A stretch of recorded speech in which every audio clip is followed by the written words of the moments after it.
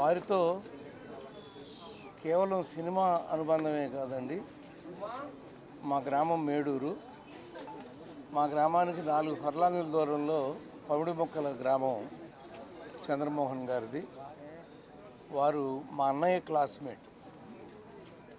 వారు అన్నయ్య నేను అందరం మేడూరులో ఒకే హై స్కూల్లో చదువుకున్నామండి. ఆ తర్వాత ఇక మేము నూజివీడు వెళ్ళిపోవటం. ఆ తర్వాత ఆయన అలా మద్రాసు రావటం.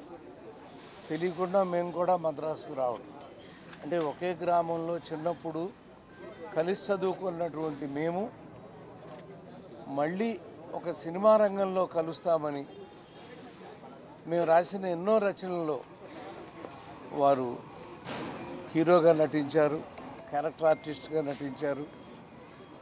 మంచి పాత్రలు చాలా వేశారండి ఆయన. మా అన్నయ్య దర్శకత్వం వహించిన మూడు సినిమాల్లోనూ హీరోనే ఆయన. కాయరాజా కాయశ్రీ కట్ల వీటన్నిటిలో కూడా.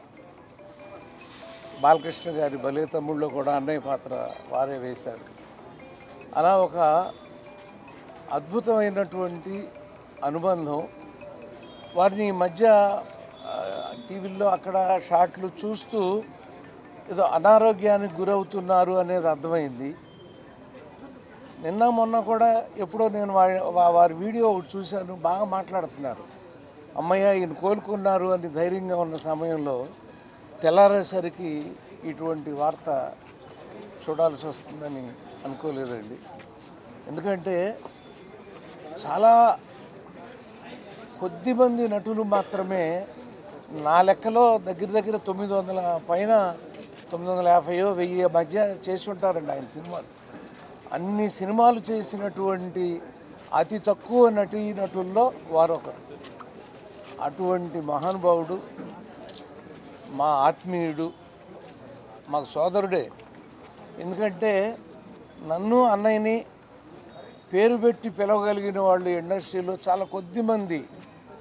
ఏకవచనంతో పేరు పెట్టి పిలవగలిగిన వాళ్ళు చాలా కొద్దిమంది ఉన్నారండి. వాళ్ళల్లో మా చంద్రమోహన్ ఒకడు. ఈ రోజున ఆయన లేరు అనేది నిజంగా చాలా దుఃఖకరమైనటువంటి వార్త. గుండెల నిండా ఆ బాధ నింపుకుని ఎలా చూడగలను ఆయనని కూర్చుంటే తప్పదు. మళ్ళీ చూడకపోతే ఆయన కనిపించడే కానీ ధైర్యం చేసుకుని నేను ఆయన చూడటానికి వచ్చానండి.